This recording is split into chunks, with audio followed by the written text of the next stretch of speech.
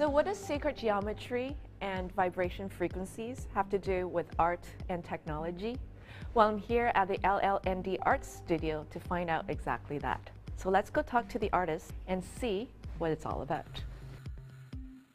What we're working on today is a, a performance uh, that combines a lot of the mediums we've been working on in the past years. All the tools we made are related to sound and its vibration, focusing on this uh, cosmic resonance. So we use a lot of um, science behind all of this. All things is the same matter, and all the matter is in vibration, everything. Also our body, also the planet, also very short element like alive. All thing is alive. Nathalie and Laurent met in 2003 and soon after began their duo, LLND. Based in Shanghai since 2009, the two artists have had many exhibitions of their audiovisual installations throughout China and abroad. Studying the planets orbiting and um, their relationship within the solar system and uh, the impact on Earth and how to visualize all of this um, with sound. So we see things with sound and we hear things with visuals. And often they make a, a cycle. And the cycle is, is, like a loop, but uh, in, in sound, in frequency. You make also some waves. Their work's been sold to many private collectors, such as famed buyer Bernard Arnault, chairman of LVMH, and also a renowned art collector. Now, with their recent exhibition at the Shanghai Art and Design Fair, LLND gave quite an interesting performance. But what is sacred geometry, and why is it important for us to be aware of this golden ratio?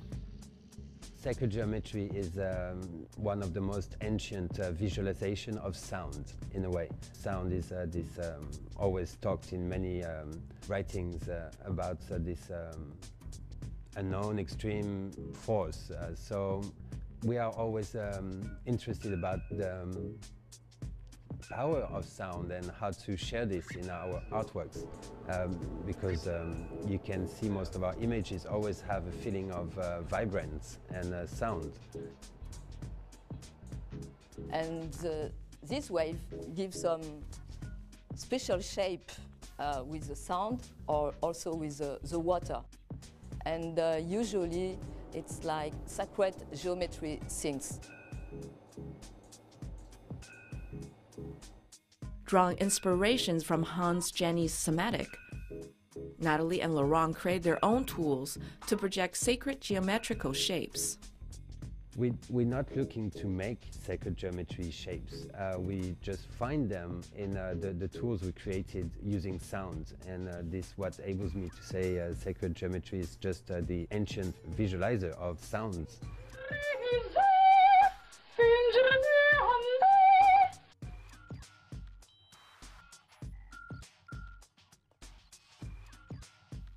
Since always people try to understand what is this sound, what is this uh, cosmic organization or movement, and uh, how to understand it better. So we don't tell people how to feel, you know, with our, our artworks. We just give an open gate uh, for people to have a co consciousness about uh, themselves, maybe, and realize how ancient they are in their present.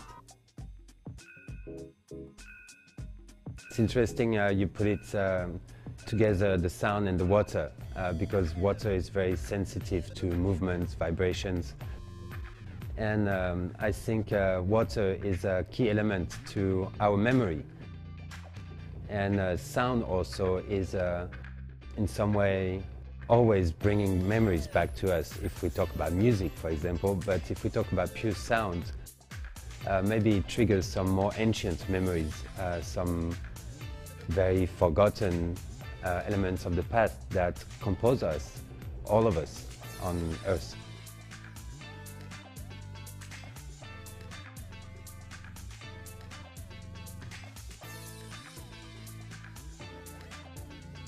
The three elements they use for their installations are water, which creates stunning organic shapes, like the mandala found in many religions throughout the world.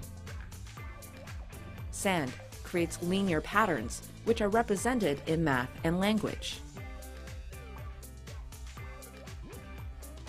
And finally, round metal objects that conduct static reactions to frequencies, resulting in opposing frequencies, much like the relationship between the microscopic and the cosmos.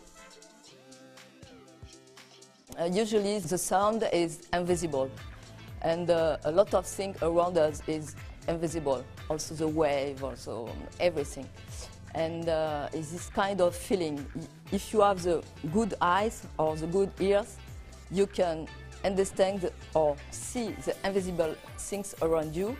And uh, it's also a mystery in, the cosmos. We, we, don't know exactly whole things uh, there are in the, in the cosmos is also invisible, the black matter. So maybe we try to ex not explain, but uh, play with this kind of concept.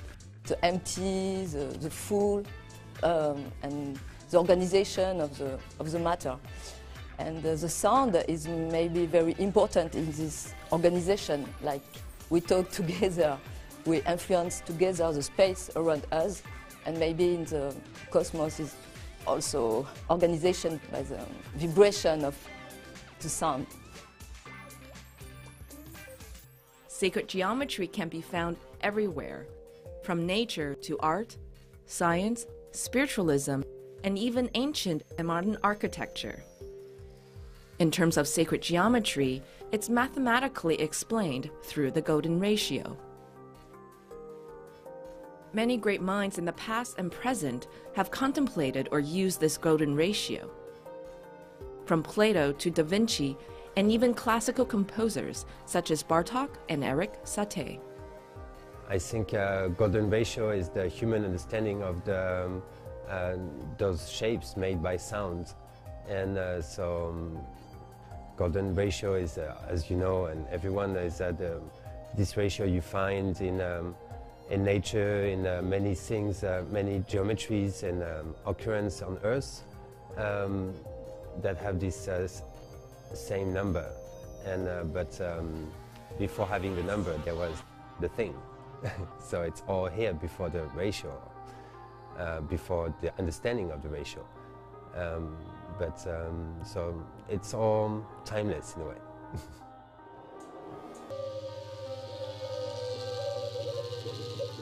As we become more aware of our history and surroundings, we find that sacred geometry and vibration frequencies are timeless throughout our existence in both sight and sound. It was really cool to check out Nathalie's and Laurent's art studio. And what we witnessed today is that art, sound, science, technology, and nature has been affecting us before our time and will keep on affecting us beyond our time. This is Christine reporting for City Beat.